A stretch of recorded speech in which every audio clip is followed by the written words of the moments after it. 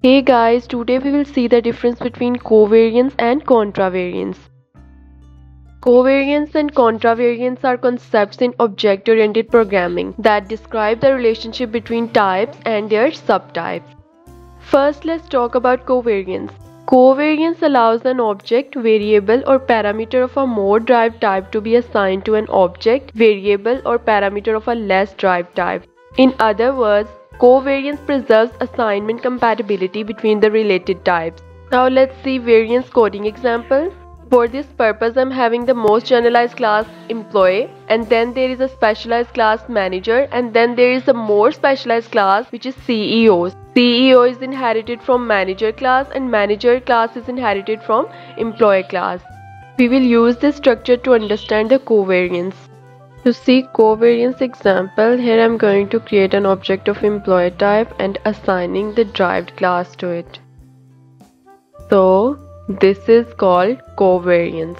Second, if I assign most specialized class like CEO to this manager object, then this is also called the covariance.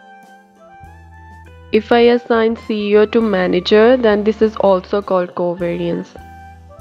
So this was the example of covariance in which we are storing our drive type into our base type. Next is contravariance. Contravariance allows you to use a less drive type or base class where a more drive type or subclass is expected. It is used with argument only and contravariance is primarily used with delegates and generic interfaces. It is not directly applicable to non-generic interfaces or classes. Let's explore it with a coding example. First I'm going to create action type delegate cause these delegates we can use with our generic types and this delegate is employee type and in this I'm going to print employee's name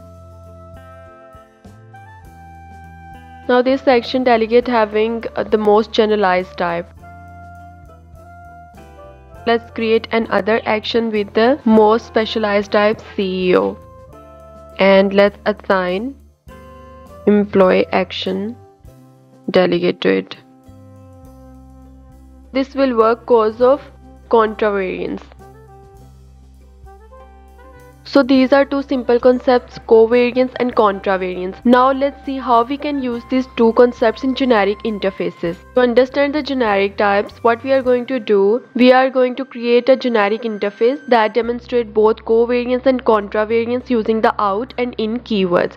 Covariance is used for the return type and contravariance is used for the parameter we can use out keyword for covariance and in keyword for contravariance. So here I'm having an interface I display employee. If I want to implement covariance and contravariance on this interface then I will use in and out parameter. We will use in keyword for input and out keyword for output. Now I'm going to write a method and uh, going to give its generic return type and generic output by using covariance and contravariance.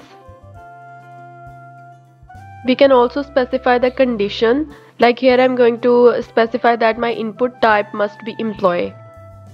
If I switch these both the input t and output t then it's showing us error and the error is we can't use covariance as contravariance and contravariance as covariance. Now let's implement this interface in another class. In input I'm giving employee type and in output I want a string. As you can see in this display employee, I am implementing an interface by using contravariance and covariance. Covariance we specify with out keyword and contravariance we specify with in keyword. Contravariance we use as a parameter and covariance we use as a return type. Let's use it in main function.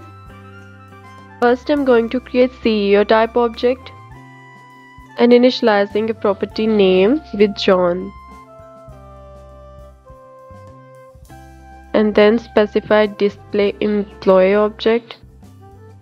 Now I can use this display function like this console.writeLine display dot display and in its params I'm going to pass any employee object. And we can pass specialized class 2 so I'm passing CEO as you can see this function is using contravariance and covariance. Let's execute it. And it's printed CEO name Hope you understand these bit tricky but simple concepts, covariance and contravariance. If this video is helpful for you, please like, subscribe and share my channel. Thanks for watching.